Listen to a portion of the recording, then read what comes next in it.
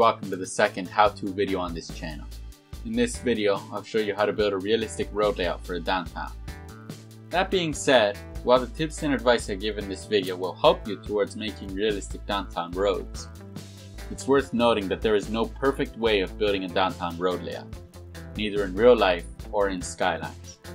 That being said, this video will definitely help you along in the process of building road layouts that are realistic in how they are made and in how they interact with varying factors around them. Here is a list of the mods I've used. These are just the bare bones essentials for road laying, and I've linked my full mod collection down below. I've also listed the creators of most of the roads I've used. I'll link their collections down below as well. The first thing you want to do before you even lay your first road is plan out how you're going to structure your downtown and your city as a whole. I've thrown together a quick plan here that will define how we build our layout. I've placed offices in the financial core right between the ridgeline and the water, which gives easy highway connections and serves as a buffer between the residences and the port. Residential buildings will almost always have higher levels of development around the water as land values are higher. Knowing what the plan for the city is will allow us to build a road layout that will function perfectly within the city. So I've done the highway and the main train station. We're going to start off with the main arteries which carry people in and out of downtown. These are the primary roads of my layout and affect where other roads in development will be.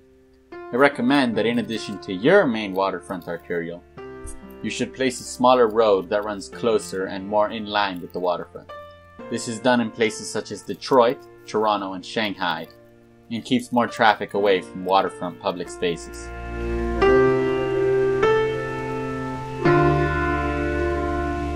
Next, we're going to add a few more arterials that aren't connected to the highway.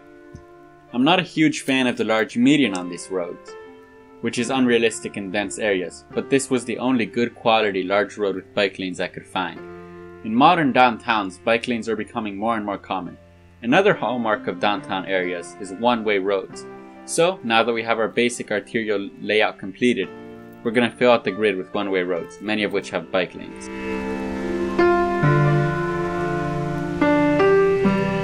We've filled out the core, but the grid is looking too perfect. And the best tool to diversify your grid, and later on your skyline, is by running a diagonal road through it like Market Street in San Francisco. That being said, you should consider what factors would affect where you put your diagonal road.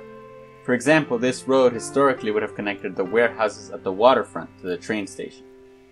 It's also very important to ensure that for every one-way road going in one direction, you have one facing the opposite, as I have done with these roads here, which I upgraded to be three lanes with one-way bike lanes, enabling more cars to pass through.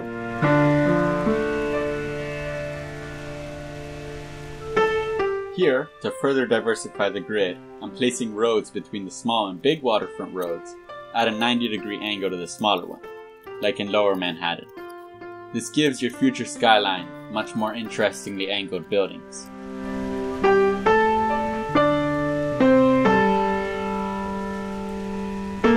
We're just looping the end of this tram line because it has nowhere else to go and will instead serve as a rapid downtown transit option. You'll notice that this area looks weird and very ungrid-like.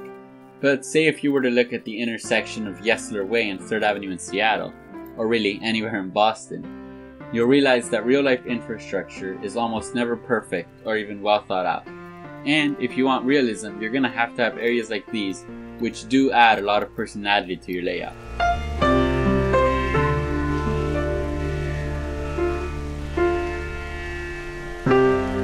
For this area here by the shore, which will be primarily residential, we don't really need any arterials parallel to the waterfront road, since the highway and the waterfront road are sufficient to carry through traffic. We will add an arterial perpendicular to the waterfront to connect this area to the train station. In front of the train station, we've put a road with bus and taxi lanes, as it's very important to give ample connection options at your train stations.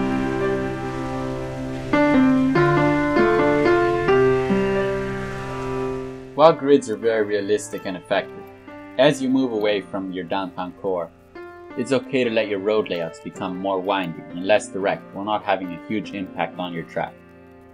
Now we're going to build the grid up to the base of the mountain. While in many cities there is development up to the base of hills and even moving up them, Most road layouts end at the base, with just one or two roads snaking their way up.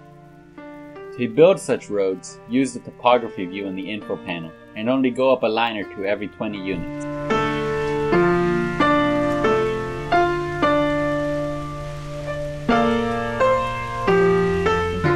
A great way to ensure that your layout is both realistic and interesting is through using different types of roads throughout the different areas of your city. Different areas have different needs in terms of size, speed, and usage, and your grid should reflect that. For example, as the roads move into where the port would be, there is much less demand for bike lanes, and as such, the roads should be more geared towards the heavy traffic such as trucks. Now I'm just placing where a hypothetical metro line would be. The trams cover much of the necessary transportation, and this metro line would connect the suburbs to downtown and the port there really isn't the need for more lines as much of the transit free space is just mountains. Anyhow, that's all for our downtown layout and I hope this video and the tips within it help with your own future layouts. For the next video on the channel, I'll be using this road layout to show you how to build a skyline that is both realistic and more importantly, aesthetically pleasing. So don't forget to subscribe or leave a like to catch that video. Thank you for watching.